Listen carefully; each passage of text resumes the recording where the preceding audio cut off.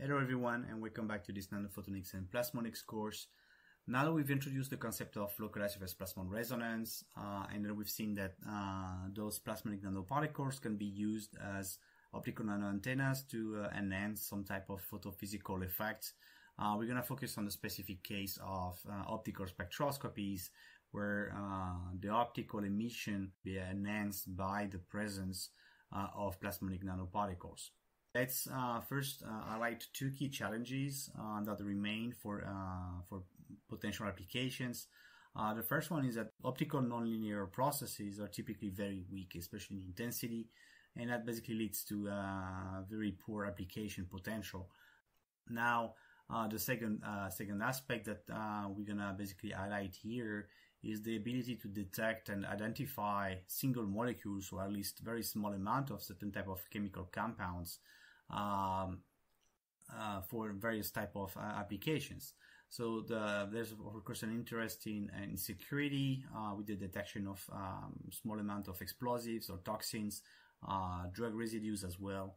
Uh, medical field has also uh, a lot of to gain from the detection of small amount of molecules, especially in pharmaceutical applications with the detection of chiral molecules where certain type of chiralities are good for uh, drugs, uh, but uh, the opposite chirality actually can, can kill you.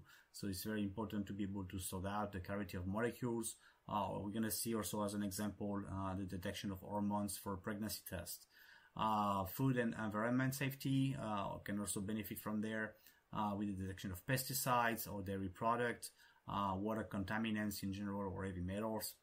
But also, for instance, the the, the field of cultural heritage. So uh, museums are now using more and more uh, optical spectroscopy techniques to really detect and identify uh, certain type of organic colorants in paintings or in uh, in, uh, in, pottery uh, and other artifacts to trace back the origin of of the, the different art pieces. So surface plasmon resonance they exhibit a very large spectral tunability. That's something we've seen already in chapter nine uh, and also exhibit a very large local electric field enhancement. Both of these properties are going to be used in different ways uh, toward optical spectroscopies and, uh, and sensing applications.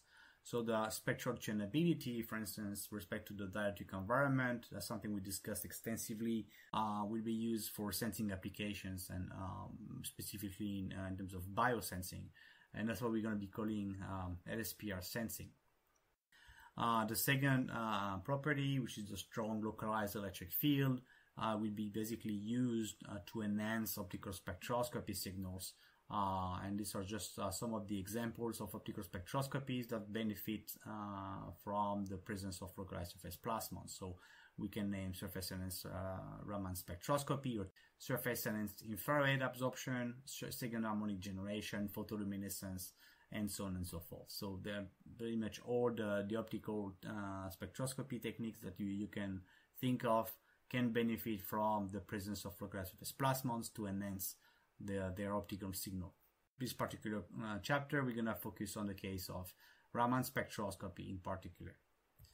So uh, before we dive into uh, the particular case of Raman spectroscopy, it is important to uh, to recall some of the basic concept of optical processes in terms of light matter interaction.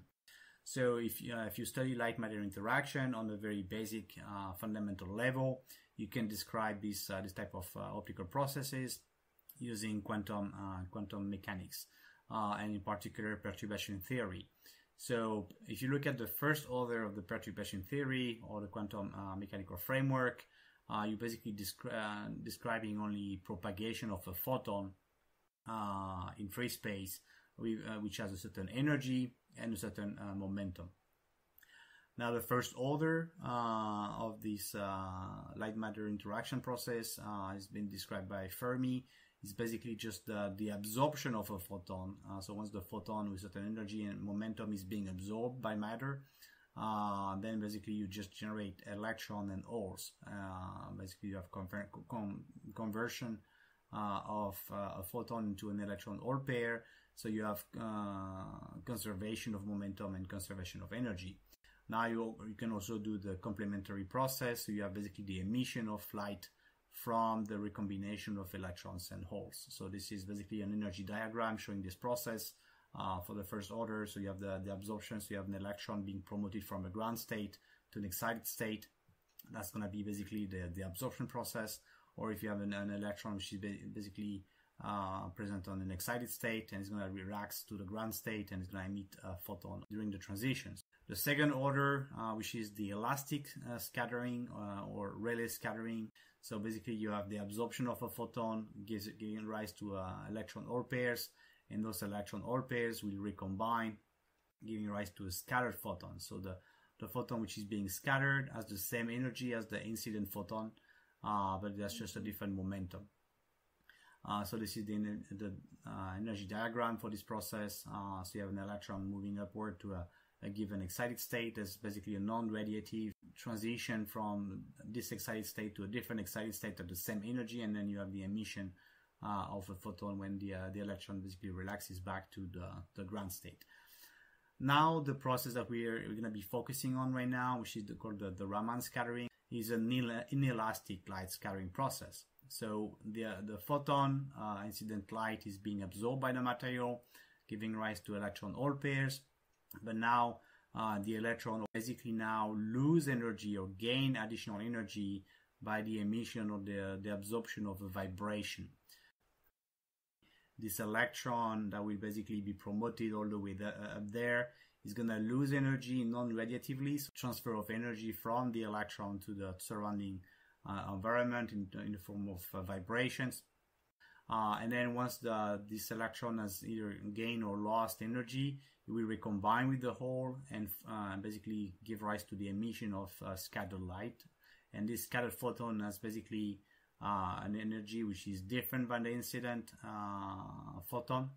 And the difference in energy is basically the energy of the vibration, either the phonon if you're in a, in a, in a material or the just the molecular vibration if you're in a molecule. And then basically, of course, you are, you're going to have uh, a different, uh, different momentum. So this is the scattering effect. So now you see that this is a third order uh, process, optical process. So this is uh, highly nonlinear. Uh, so by definition, this process is very weak. So um, what is SERS? Uh, so the surface enhanced Raman scattering is a very powerful uh, vibrational spectroscopy technique. Uh, and basically, it allows you to, to really uh, obtain highly sensitive uh, detection of, uh, of uh, vibrations and structural information on the molecules or analytes in general. And you can really go to very low concentrations as opposed to regular Raman scattering because, as, you, as I just mentioned, Raman scattering is a very weak process. So if you have a low amount of molecules that you want to detect, for instance, uh, using uh, Raman spectroscopy, uh, you will not be able to get any useful signal. So we're going to need to increase the, the concentration to get something uh, usable. So uh, how this works, basically just use the, the strong localized electric field uh, generated by the excitation of the classified plasmon resonance. So if you have sending light on a molecule, this molecule is going to start vibrating uh, and you're detecting light uh, with a different scatter energy uh, as a result of this energy being transferred into the the vibration of the molecule and you're basically going to record the Raman spectrum uh, with those different peaks that are the signatures of the, the vibrations of the different uh, chemical bonds in this particular molecule. So and that's basically going to give you a, a, a, very clear signature, unique signature of that molecule. Uh, now, as I said, this is something very weak, and you need a large amount of uh, molecule to actually be able to get something which is usable. Now, if you place a plasmonic nanoparticle and you excite this with the low classified plasmon resonance frequency, uh, you're gonna basically have the molecule sitting in the strong electromagnetic field, and then you're gonna obtain a Raman spectrum or SERS spectrum is gonna be much more enhanced as opposed to a regular Raman spectrum. So the process is the same. You send light in at a given frequency, you detect light out with a different frequency. You just take the difference between those two, and then basically you obtain a, a Raman spectrum. Uh, if you have only the molecules, or if you have the molecules and the plasmonic uh, nanoparticles around, then you have the SERS spectrum. So let's uh, discuss a little bit about um, where this uh, SERS comes from, who discovered it, and uh, what's the origin of uh, of this uh, this this mechanism. So in 1973, Martin Fleischmann uh, performed some uh, Raman spectroscopy measurement on pyridine on silver electrodes, and he observed a very strong enhancement of the, the Raman signal as opposed to just the molecules dispersed in in the solvent. Uh, so he, could, he didn't understand what was going on. He just observed this uh, this enhancements and uh, realized that there was something going on.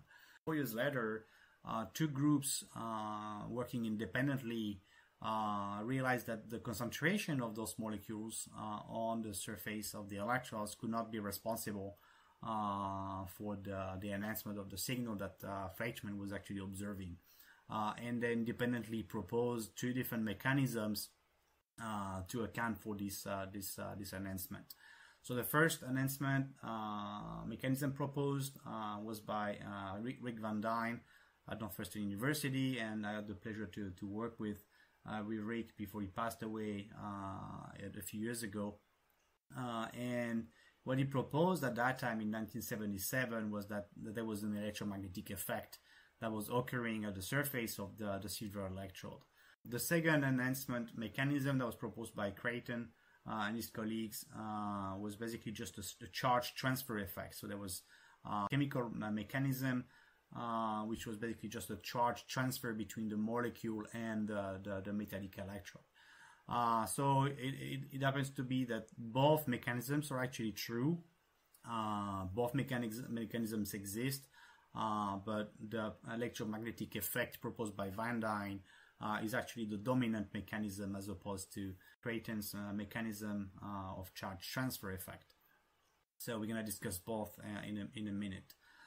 Why, why the controversy of SERS? Uh, simply because well, the, the first observation of the SERS effect itself was 73 by Matthew Fleischmann, but uh, there's been a lot of disputes between Fleischmann and, and Van Duyne, who both claim paternity for the SERS. Van Duyne claiming that uh, what Fleischmann, uh, Fleischmann was uh, was observing. He didn't even know what he was observing. He observed something and he didn't explain it. While Van Duyne was the one who actually brought the explanation uh, and the underlying uh, physical effect explaining SERS. Uh, so there's there's been of course a lot of debate and controversies over the years ever since the, the discovery of the plasmons. So I leave you with the fact uh, then it's up to you to decide uh, who is the, the, the true father uh, of SERS. Um, so what's the, the, the, the, physics behind? So the, the surface enhanced Raman spectroscopy is just a, a different version of Raman spectroscopy. Uh, so in Raman spectroscopy, the total power which is being scattered uh, in your experiments is going to be given by, of course, the, the number of scatter or the number of molecules you have. So the more molecules you have, the more scatter, more scattering, the more signal. Uh, it's going to, of course, depend on the type of molecule uh, through their uh, scattering cross section. So very similar to a regular scattering cross section for gold nanoparticle uh, that we've introduced uh, in chapters chapter nine. molecules have also scattering cross section. So this is a Raman scattering cross section and it's going to of course depend on how much light you send to excite the, the molecules. SERS is fairly similar, uh, so it depends on the number of molecules. It's going to depend on uh, scattering cross section, but now we see that you have a different uh, cross section. So this is the Raman cross section, and this is the SERS cross section. Uh, it's going to depend also the incident uh, intensity of light, and now you have this uh, this factor F uh, which is basically the electromagnetic enhancement factor that we're going to discuss on the next slide. So something I want to, uh, you to notice also is that uh, you have uh, this different scattering cross section, uh, and basically because you place the molecule near a plasmonic substrate or a plasmonic nanoparticle, this molecule will, uh, will basically see a change in the environment. Uh, and because you're going to change the environment of the molecule, it's going to basically scatter light uh, and it's going to behave differently. So this is reflected in a change uh, from this uh, sigma RS to this sigma SERS. Uh, notice that uh, this change, because of the local environment, is basically reflecting directly the, chemi- the chemical contribution of the SERS enhancement. So this is the basically reflecting the the, the mechanism proposed by Creighton, but uh, this uh, electron uh, transfer between the molecule and the plasmonic substrate. So the the chemical enhancement is contained inside this new scattering uh, cross section, while the electromagnetic enhancement, uh, due to the plasmons, we're gonna see it's contained in this factor F, this enhancement factor. So what this uh, enhancement factor is, uh, well, basically the electromagnetic enhancement mechanism uh, proposed by Van Duyne uh, is driven by the presence of the localized surface plasmon resonance, uh, which basically enhances the local electromagnetic field at the surface of the metal. So in the case of the original um, experiments by Fleischmann in 1973, uh, this metallic surface was the, the silver electrode. So because you have a silver electrode, those electrodes are much much larger than the uh, the size of the molecule, so they are basically kind of considered as flat surfaces. So they were basically using uh, surface plasmon polaritons rather than LSPs. So this enhancement factor, uh, this F that we introduced uh, before, uh, that's going to dictate how much uh, Raman signal is being scattered by the molecules in the presence of plasmonic nanostructure, is basically given by the uh, electromagnetic field, electric field intensity uh, at the incident frequency, and uh, times the electric field intensity uh, at the scatter frequency. Uh, so now that basically we are looking at the, how much the local electric field is enhanced by the local plasma with respect to the incident uh, excitation.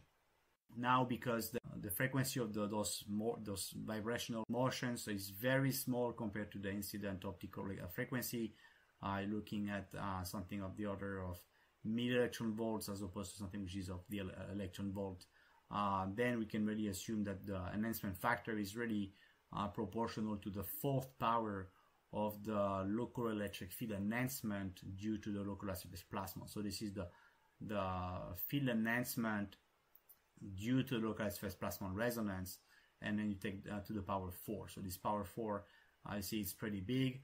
Uh, and if you put, put in uh, numbers for a, a, plasmonic nanoparticle, uh, if you perform uh, any, any, computational simulations like FDTD or FEM or whatever, you can reach enhancement factors of basically fourth power of local electric field of the order of 10 to the 10th or 10 to the 11th.